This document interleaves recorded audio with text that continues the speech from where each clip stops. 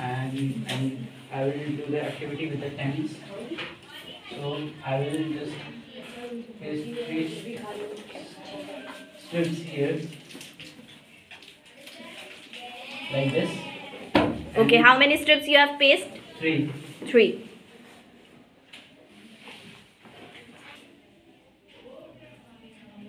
Then we will we will three upon ten we will write and then what we will do we will write three here with the one decimal which is uh, which is invisible and then we will three three three steps we will 3 upon 10. It means how many steps we are going to take to move the decimal? only one time Okay. Left or right?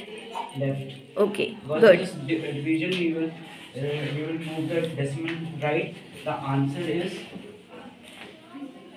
3 ze- 3.0.3 Okay. is the answer Very good. Clap for him.